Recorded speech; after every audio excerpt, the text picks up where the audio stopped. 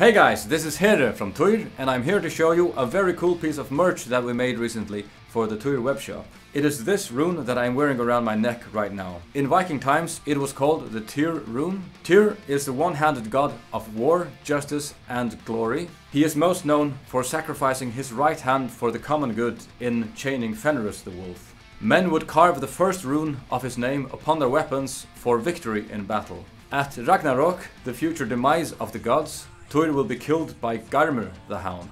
Now you have a chance to wear the T-rune around your neck for victory, justice and glory. On a handmade leather cord with two wolf heads holding the rune. It is produced by Dracaria and it comes in a nice black box with a Tyr logo on it. So get yours now in bronze or silver at tyr.fo slash merch. Thank you and hope to see you soon. Cheers.